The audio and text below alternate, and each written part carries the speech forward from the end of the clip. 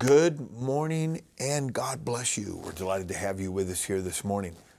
Maybe this is your first time tuning in and joining us. We extend a warm welcome to you and trust you're blessed with what you hear today. We want to begin with prayer. We want to continue to pray about the direction and the condition of our nation and our world. We also want to pray for Cornerstone Pentecostal Church, and you just put your church and your pastor in that in that place. And we want to pray for our brothers and sisters around the world. Please continue to pray um, for uh, the Davies family, the Harris family, and Sister Jamie Prado, Ayla, and Nora. Maybe you have a special unspoken request. It's a perfect time to make that known unto God. Let's pray together. Father, we love you, praise you, adore you, and worship you. Father, we pray for our nation and our world that is in gross darkness. God, we pray for a great and effectual door of utterance to be opened up to the people of God in this hour, in this nation, and in this world. God, we also pray for Cornerstone Pentecostal Church. Pray that you'll continue to open up the windows of heaven and pour out your favor and your blessing upon this people. And lastly, our brothers and sisters around the world you'd furnish each and every one of them with a hedge of protection. We ask all these things in the name above every other name, the name of Jesus. Everybody said, Amen. Familiar passage of Scripture, one verse of Scripture found in John chapter 5 and verse number 39. Search the scriptures. For in them ye think ye have eternal life, and they are they which testify of me. Amazing verse of Scripture. How many people do you know that are non apostolic that actually would fulfill that scripture that said they search the scriptures? There's not a lot. A lot of the denominational and charismatic ministry that is so active in our world today, and it just seems like everybody is is moving towards an entertainment style of ministry. Um, it's relegated to what is God going to do for you today, and what is God going to. Uh, God has this for you today, and this this is the day of, of, of your blessing. And this is, I, I'm going to tell you, ladies and gentlemen, if there was an ever a day and an hour where the entirety of the human race needs to search this incredible, ancient, and forever relevant every day, every hour, every minute, every second, every nanosecond of existence. This book is ever present and ever relevant. It is now. Search the scriptures, for in them ye think. Now, this is how I understand that scripture. That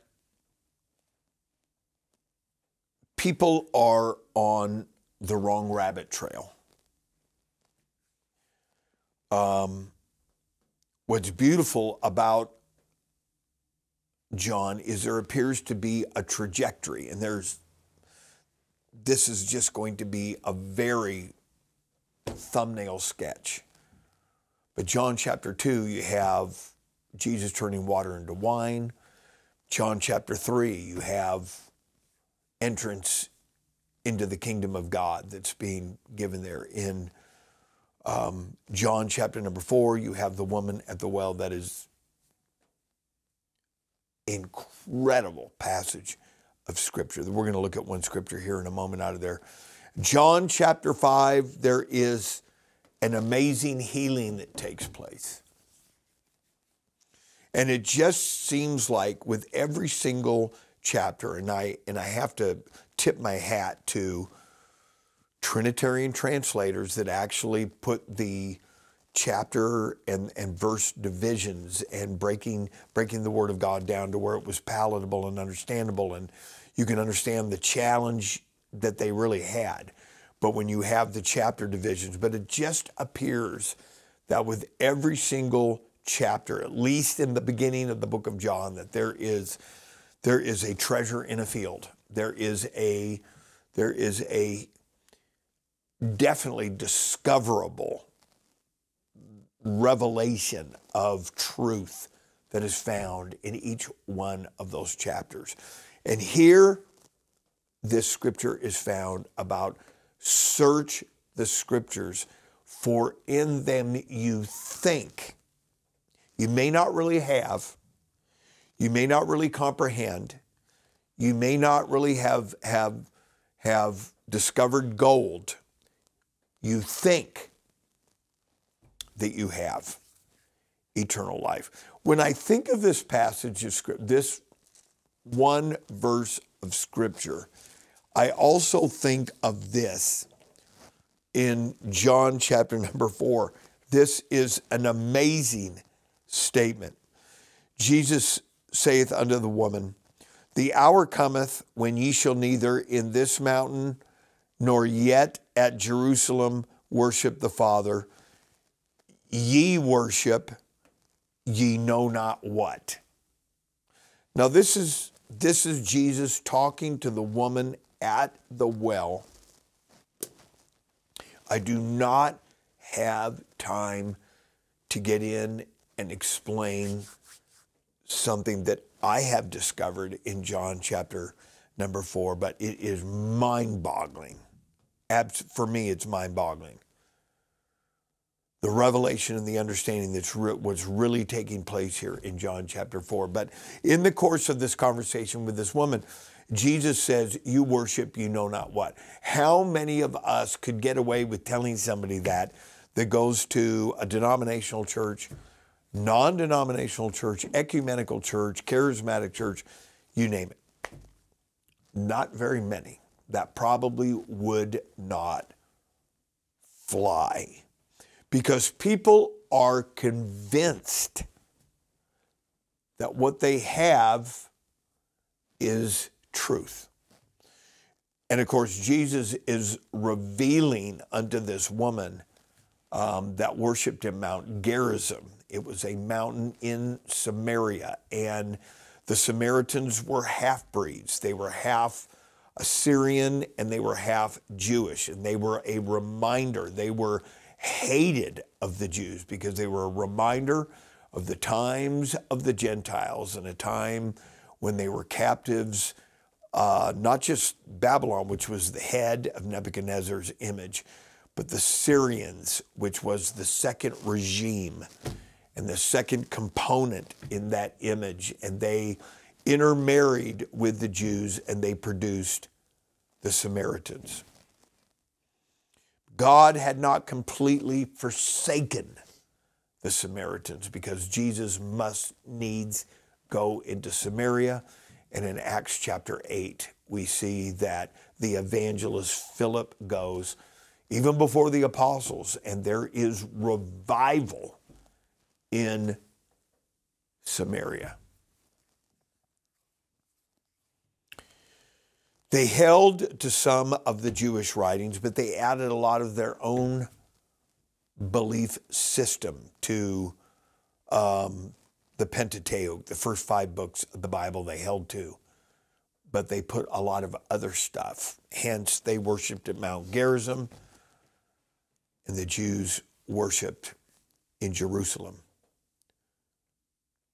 You worship you know not what. Search the scriptures, for in them you think. This entire devotional is just to say one thing. I want to thank God in front of this entire viewing audience for the truth and understanding of the Word of God. When I first came into this many, many, many moons ago, I had no comprehension whatsoever. I was raised United Methodist. Um, I was raised not reading the Word of God, not understanding the Word of God, not comprehending the Word of God, not, not ever seeing any behavior that was reflected out of the Word of God. I had absolutely no comprehension at all. It was a blank wall.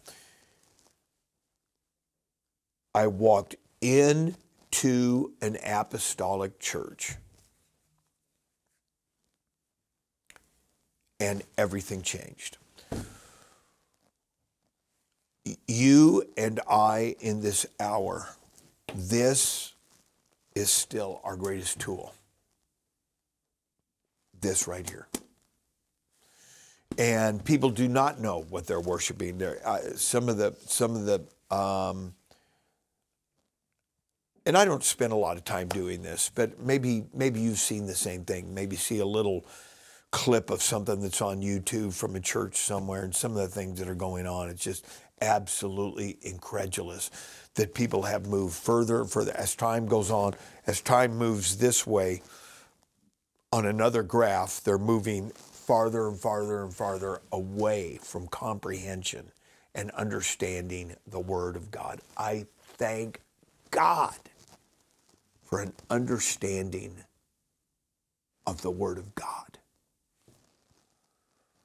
When I first got saved, I was it was before the age of entertainment really and I and I know that there was television. I was raised by a television.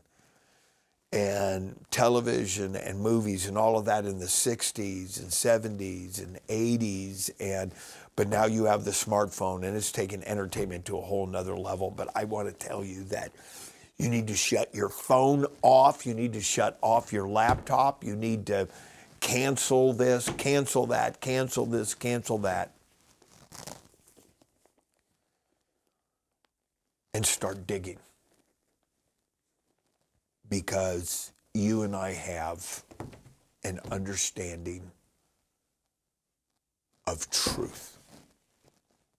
I've talked a lot about this during these devotionals because I really do understand, uh, at least with my own testimony and in dealing with other people, the value of this. Just something as, as simple as Acts chapter 2 and verse 38.